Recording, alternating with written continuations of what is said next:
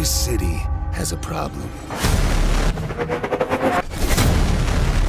Some freak who thinks he's a hero. Luckily, there ain't a problem in the world that can't be solved with a little bit of money. Tonight, we all win. One of you walks away with $50 million. And the rest, we get rid of the bad man.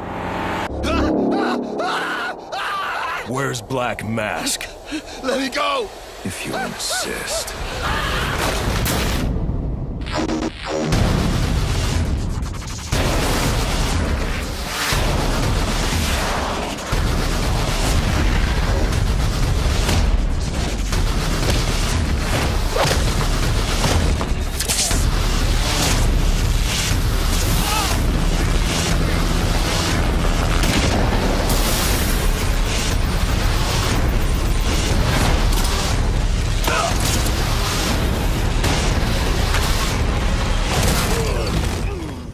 Nice of you to drop in.